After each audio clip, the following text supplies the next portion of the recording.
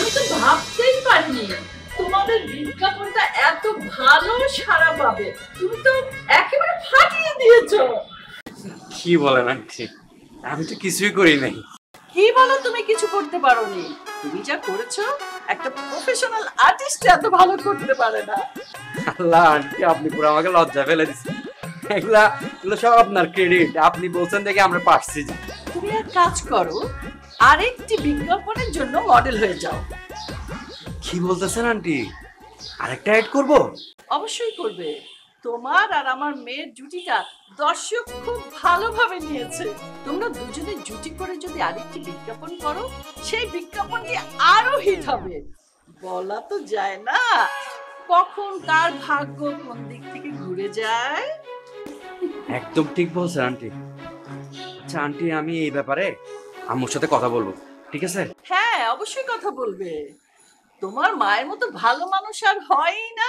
জানেন আন্টি হ্যাঁ। আমার আম্মু কিন্তু আপনার প্রশংসা করে অনেক। আমরা আসলে ভুল করছি আপনাকে প্রথমে চিনতে পারিনি আমরা আন্টি কি কিছু ভাবতেছেন নাকি? হ্যাঁ ভাবছি। আমার মেয়ের সাথে তোমাকে খুব সুন্দর মানাবে মানে তো বুঝি নাই আন্টি।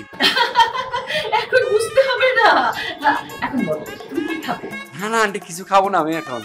আচ্ছা আন্টি রাইসা কোথায়? রাইসাকে দেখতেছি না যে? আছে। ও, ছাদে আছে। তুমি যাও গল্প করো। আহা শুধু গল্প করবে কেন? ওকে নিয়ে বাইরে যাবে রিক্সায় ঘুরবে ফুচকা খাবে চটপটি খাবে। আর এখনই তো তোমার ঘোরাফেরার দিন তাই না? ঠিক আছে আমি যাই তাহলে। হ্যাঁ যাও যাও যাও। ঠিক আছে খেলা তো জমে গেছে চামিলি বেগম আমি আসছি।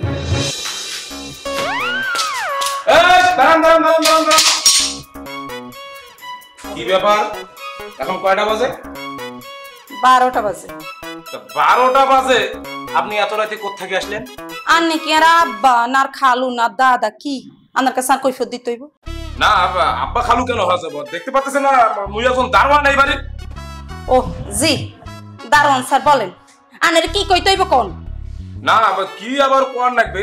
বললাম যে আপনি একটা মেয়ে মানুষ হ্যাঁ এত রাত রাত বারোটার সময় কোথেকে আইলেন? এরা শতানের বাচ্চা। আই অনেক তো রাত বারোটা বাজে ঘরতে আইসে দে আর জিজ্ঞেস কেন? আজ যদি ওকে পুরুষ মানুষ হন ঢুকতো ঠিক আছে জিজ্ঞে তিনি? না পুরুষ মানুষ আসলে কেন তাক জিজ্ঞাসা তো তুই আরে যেভাবে জেরাক্স করস মনে তুই কোন প্রশাসনের মানুষ। আর আইয়া বলে ঘরের মধ্যে ঢুকতে আসে না, একটা মেয়ে মানুষ রাত বারোটার সময় বাড়ির বাইরে তো ভালো মেয়েরা থাকে না নাই? সেই জন্য আর কি বিষয়টা ও, মাইয়া মানুষ বাহিরে থাকলে কি হয়? সাই খারাপ হয়ে যায় কেন? খারাপ কাম করি বেড়া কেন? এরা শতানের বাচ্চা মাইয়া মানুষ বাড়ে গেলে কি সমস্যা কি হয় হ্যাঁ? তোগো মতো কতগুণ পুরুষ মানুষ আছে, তোরা খারাপ হয়ে এলো তোরা মনে করস মাইয়া মানুষ বাড়ে গেলে বুঝি খারাপ কাম করি বেড়া। একটা নার্সের দেখা যায় যে রাত্রে বারোটা বাজে ডিউটি শেষ হয়ে যায়। তো মাইয়ারা কামেও তো বাহিরে যাইতে পারে এ কামেলে বাহিরে গেলে তোরা কস কি? আকাম করি বেড়া। আচ্ছা আচ্ছা বুঝছি বুঝছি বাদ দেন। আচ্ছা কোন তো এখন আপনি কত নম্বর ফ্ল্যাটে থাকেন? কোন। ও আইদেন তুই সামনে দি হারা দিন গড় গড় করি আসা যাওয়া করি। তুই আর দেখোস না কেন? কি দেখোস? কি দেখোস?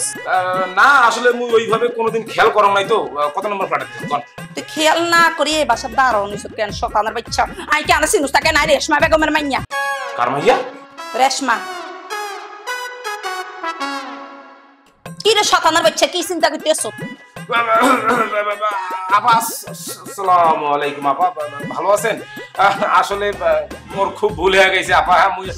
তোমাকে আপা মাফ করছি তোর দিলাম সামনে আসসালামু আলাইকুম